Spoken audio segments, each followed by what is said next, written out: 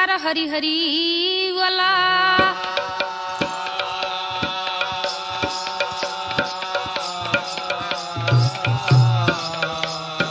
କବିକଣ୍ଠ ନିବାସିନୀ ଉତ୍କଳ ଭାରତୀ ଶାରଦା ଦେବୀଙ୍କ ପ୍ରୀତି ସମ୍ପୂର୍ଣ୍ଣ ସାଗର ଆହୁରି ଆନନ୍ଦେ ଖବାର ହରି ହରି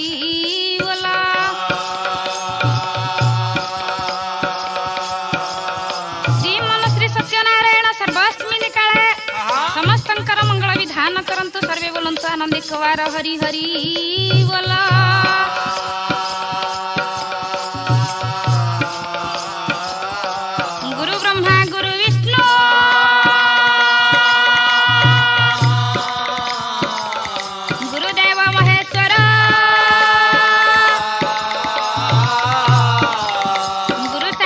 परम ब्रह्म।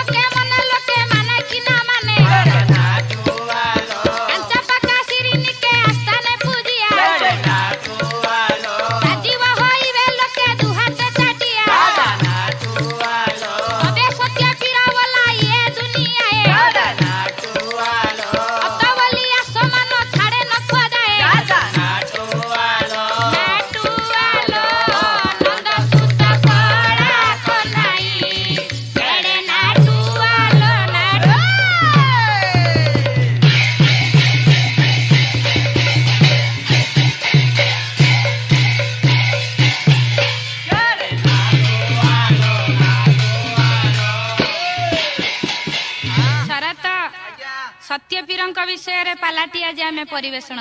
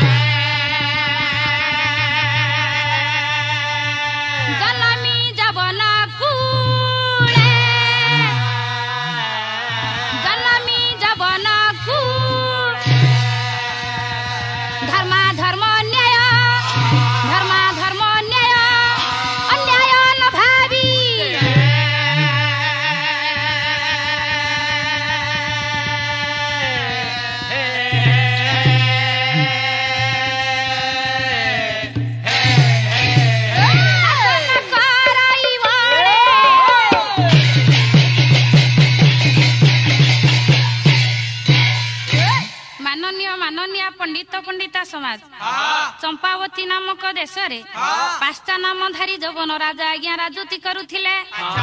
ଧର୍ମାଧର୍ମ ତାଙ୍କ ନିକଟରେ କିଛି ନଥିଲା। ଅନ୍ୟାୟ ଭାବରେ ପ୍ରଜାମାନଙ୍କୁ ଶାସନ କରି ଚାଲିଥିଲେ। କଠୋର ଶାସନ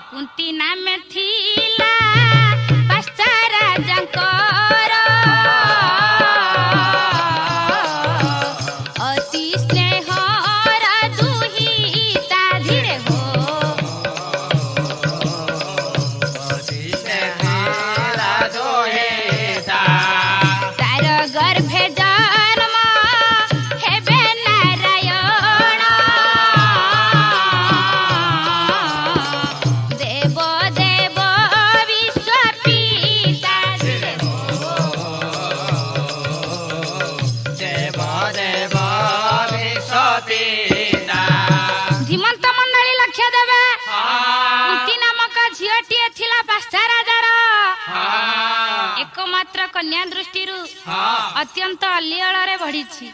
ପଣ୍ଡିତ ମଣ୍ଡଳୀ ଲକ୍ଷ୍ୟ ଦେବେ। ଘଟଣାଟି କଣ ହେଲାଣି? ଦିନେ ସାହାଯ୍ୟ ଯଦି ଚଳେ।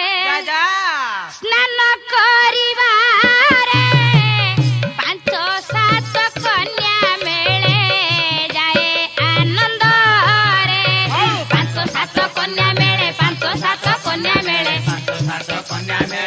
ସାତ କନ୍ୟା ମେଳେ।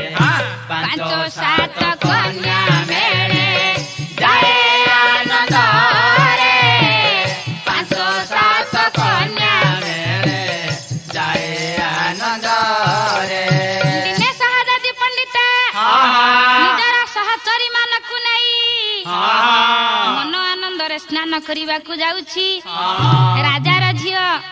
ତେଣୁ ଆନନ୍ଦ ବ୍ୟତିରେକେ ତା ମନରେ ନିରାନନ୍ଦ ନଥିଲା। ପୁଷ୍ପ ପରାଗରେ ଦିଏ ଭ୍ରମର ଚୁମ୍ବନ। ପୁଷ୍ପ ବାଟିକି ଯେ ମା କରେ ବିଲୋକ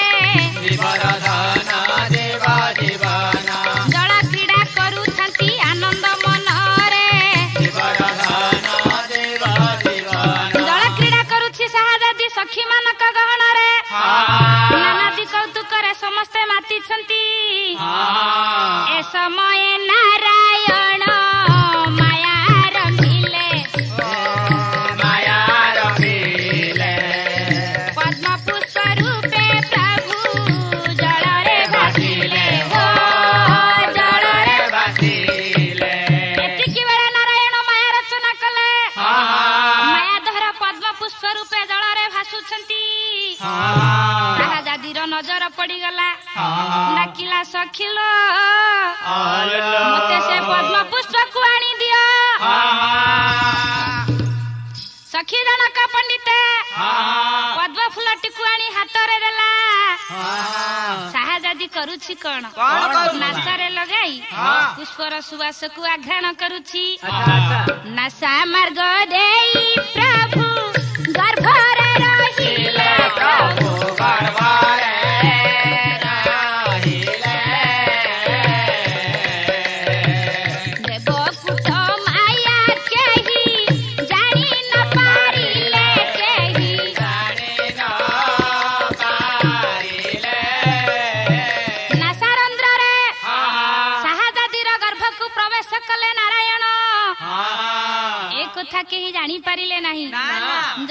ଘରେ ସମସ୍ତେ ବ୍ୟସ୍ତ ଅଛନ୍ତି। ସ୍ନାନ ସାରି ରାଜକନ୍ୟା ଗୃହକୁ ଫେରିଲା ହୋ।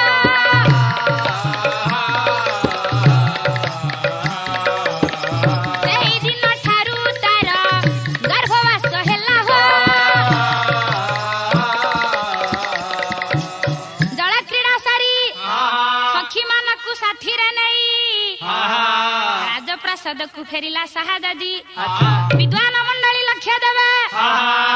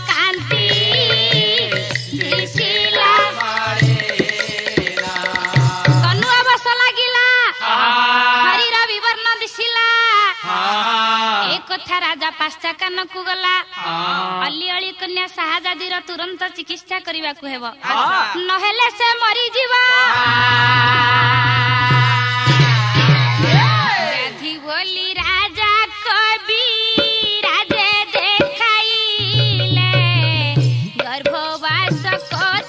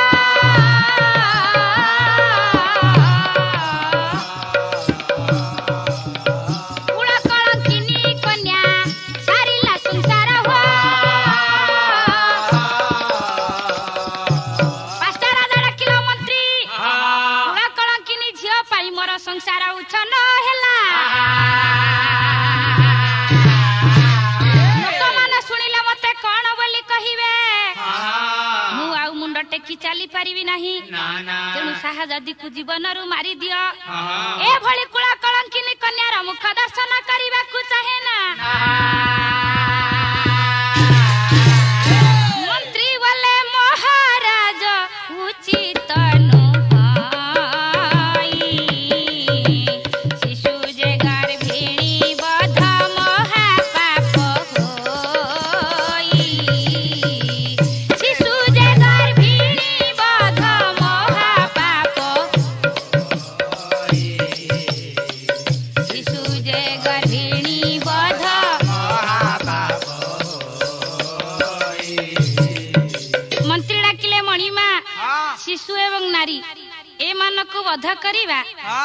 ତୋରେ ମନା ଅଛି ମୁଁ ଭାବୁଛି ନଗର ବାହାରେ ଗୋଟିଏ ବନ୍ଦୀ ଘର କରି ସେଠାରେ ନେଇ ସାହାଜାଦିକୁ ରଖିବା। ଶିଶୁଟି ଜନ୍ମ ହେବା ଯାଏ ପ୍ରହରୀ ଜଗାଇବା। ଜନ୍ମ ହେଲେ ତାକୁ ବଧ କରିବା।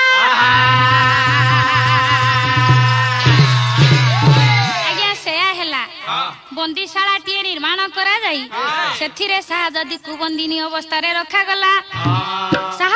ଜୀବନ୍ଦିନୀ ଭାଇ ନିଜର କର୍ମକୁ ଧିକାର କରି ସଦା ସର୍ବଦା କାନ୍ଦୁଛି ହେ ମୁଁ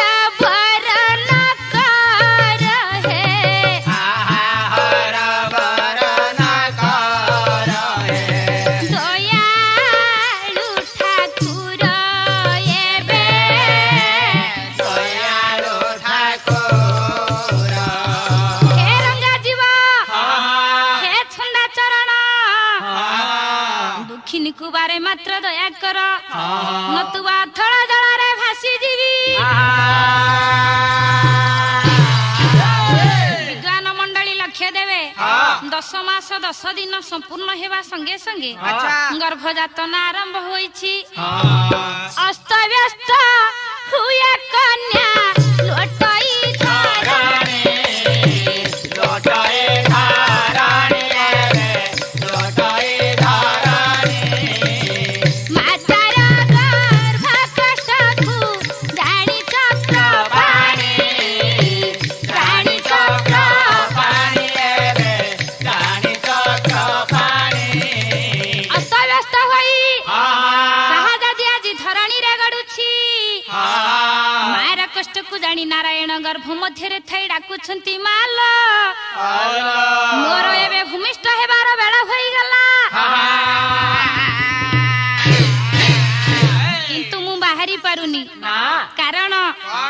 বর্তমান লঙ্গলা অবস্থায় অছি তু যদি উপায় করিবু তেবে মু বাহারি পারিবি কানি পণ তো চিরিণ ভাখিবু গার্ভারে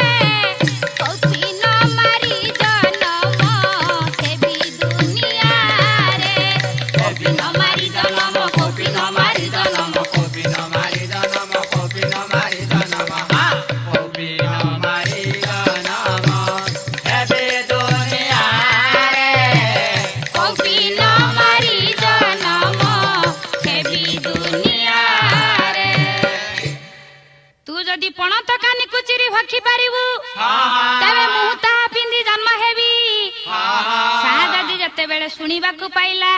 ପଣ୍ଡିତେ କଲା କଣ? ସାହା ଯଦି ନିଜ କାନି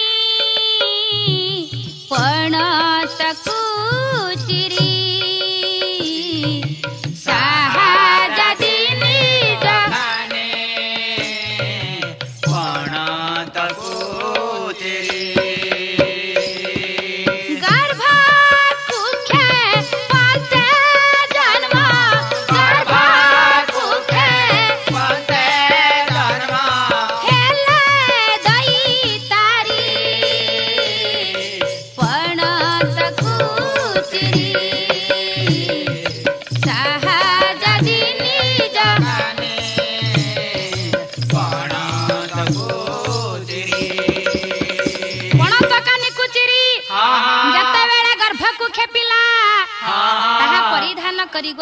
हरि जन्म हेले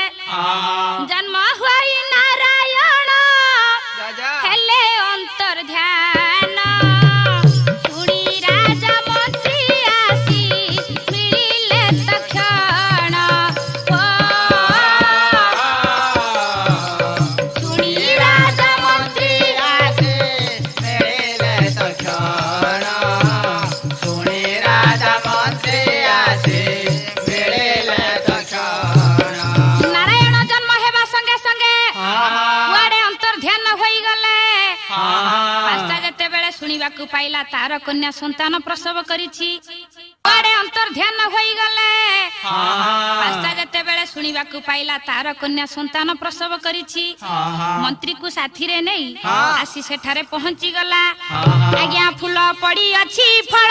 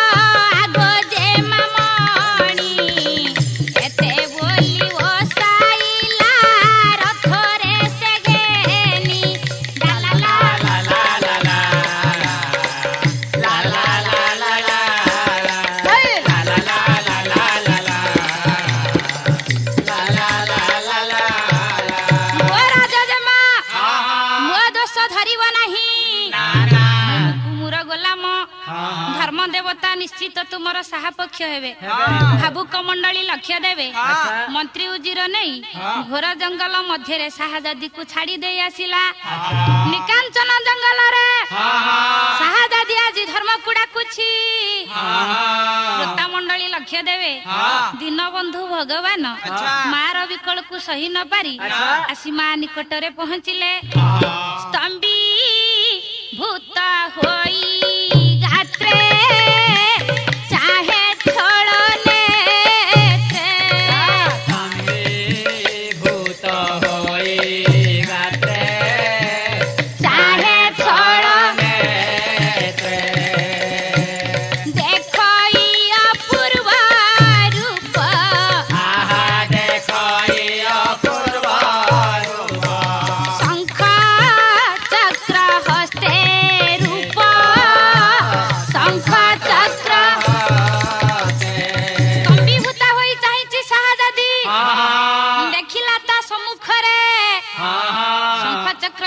ବାଳକଟିଏ ଛିଡା ହୋଇଛି। ସାହାଜାଦି ଡାକୁଛି ରେ ବାଳକ। ତୁ କିଏ? ତୋର ପରିଚୟ ମତେ ଦେ। ନାରାୟଣ ଡାକୁଛନ୍ତି ଗୋ ଜନନୀ।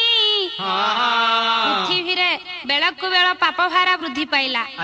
ଧର୍ମକୁ ରକ୍ଷା କରିବାକୁ ଏବଂ ପୃଥିବୀବାସୀଙ୍କୁ କୁପଥରୁ ସୁପଥକୁ ଆଣିବା ପାଇଁ ମୁଁ ଜନ୍ମ ଗ୍ରହଣ କରିଛି ମାକୁ ସୁରକ୍ଷିତ କରିବା ପାଇଁ।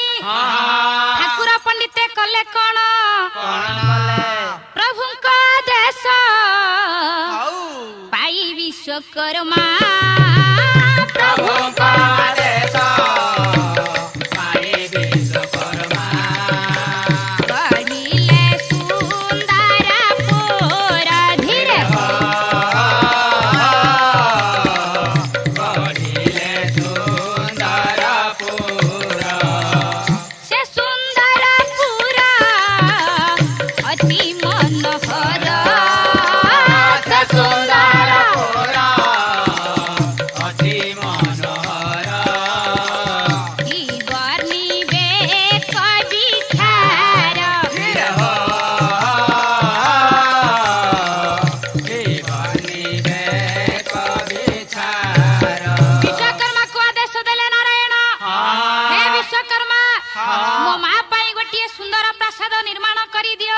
ଆଦେଶ ମୁତାବକ ବିଶ୍ୱକର୍ମା ପ୍ରାସାଦଟିଏ ନିର୍ମାଣ କଲା।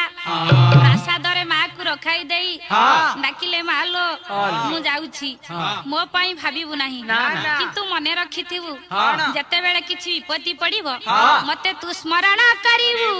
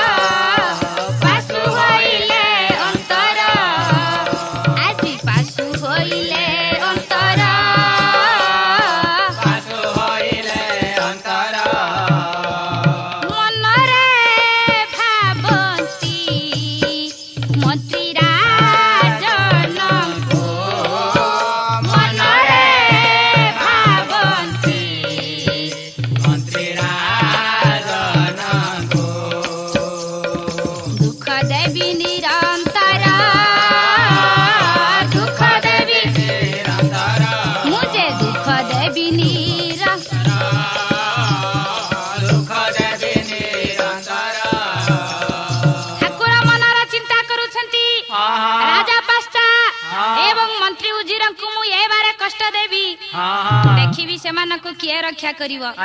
ଉଜିର ମନ୍ତ୍ରୀର ବାଳୁତ କୁମାର ଉଜିର ମନ୍ତ୍ରୀର।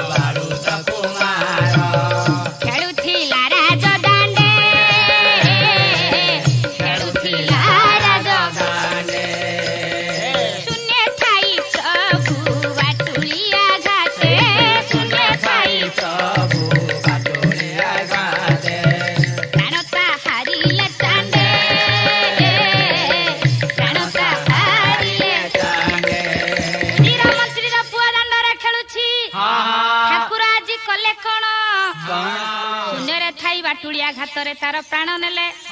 ରାଜ୍ୟରେ ହୁରି ପଡିଲା। କିନ୍ତୁ କିଏ ମାରିଲା କେହି ଜାଣିପାରିଲେ ନାହିଁ।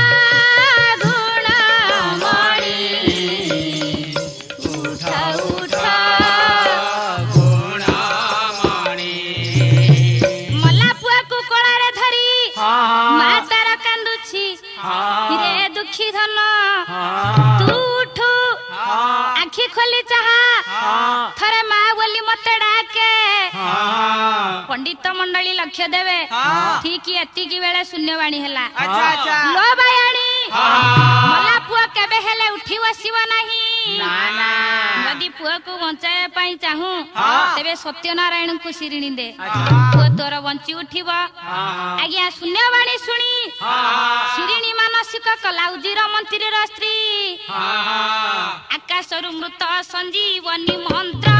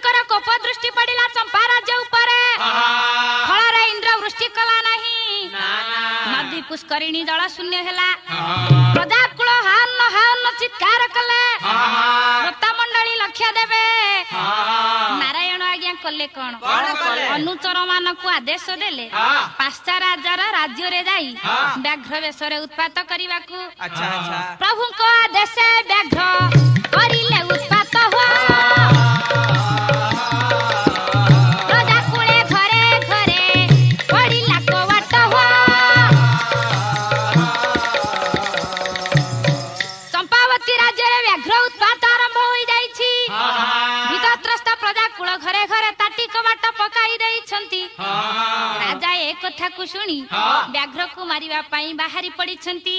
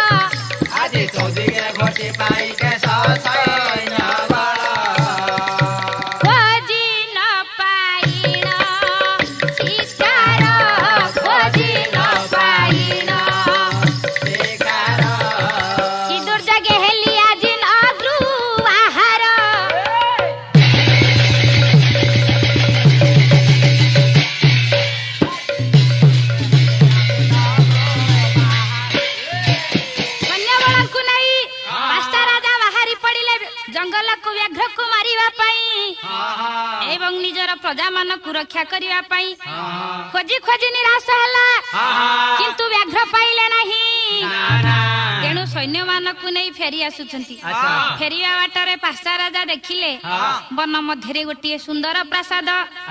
ରାଜା ଚିନ୍ତା କଲା ଏଠାରେ ପ୍ରାସାଦଟିଏ କିଏ ନିର୍ମାଣ କଲା? ଏହା ମୋ ପ୍ରାସାଦ ଠାରୁ ଅତ୍ୟନ୍ତ ସୁନ୍ଦର ହୋଇଛି। ଅନୁମତି ବିନା ରାଜ୍ୟର ସୀମାନ୍ତେ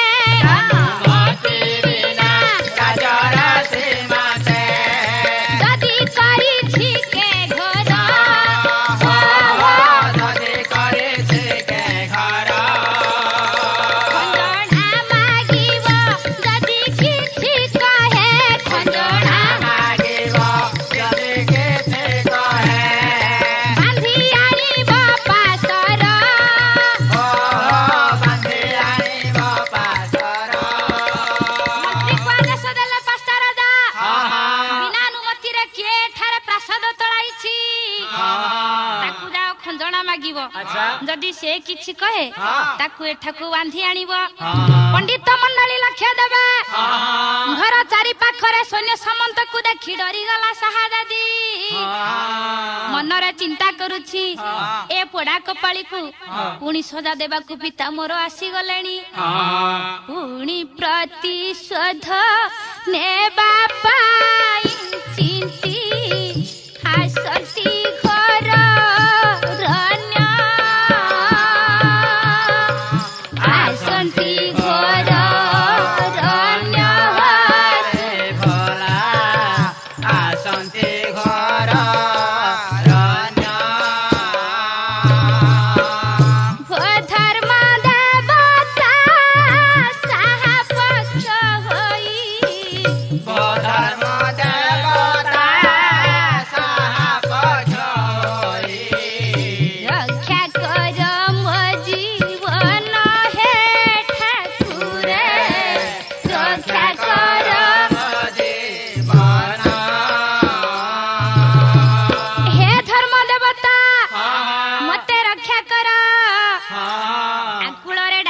ରୁଗୁଣୀ ତାକୁ ରକ୍ଷା କଲ।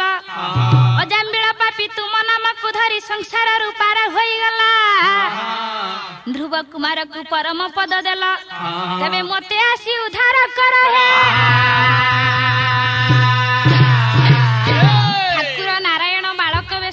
ପହଞ୍ଚିଲେ। ଡାକିଲେ ମା ମତେ କାହିଁକି ସ୍ମରଣ କଲ କୁହ? ସାହା ଦାଦି ଡାକିଲା ପୁଅରେ ରାଜା ଆଦେଶରେ ମନ୍ତ୍ରୀ ଆସି ଖଞ୍ଜଣା ମାଗୁଛି। ଏବେ ନ ଦେଲେ ଖଞ୍ଜଣା ବାବୁ ଏବେ ନ ଦେଲେ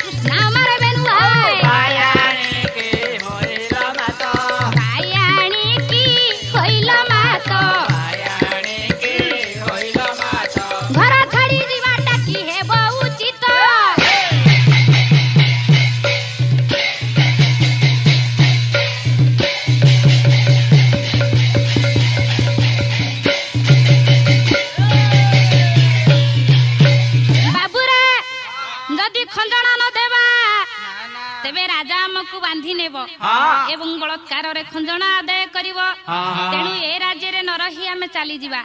ପଣ୍ଡିତେ ହସିଲେ ଠାକୁର। ଡାକିଲେ ମା ଘର ଛାଡି ନ ଯାଇ ବରଂ ଆମେ ପାସ୍ତା ରାଜା ଠାରୁ ପ୍ରତିଶୋଧ ନେବା। ମତେ ବୀର ବେଶର ସଜାଇ ଦିଅ।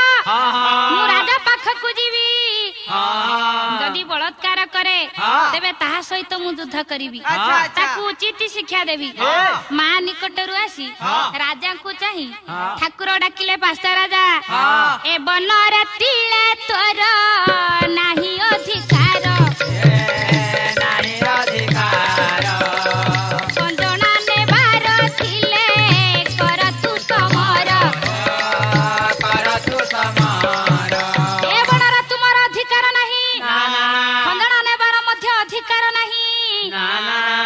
ସଞ୍ଜଣା ଚାହ। ତେବେ ମୋ ସହିତ ସମର କର। ଏତେ ଶୁଣି ଗର୍ଜି ଉଠି। ଏତେ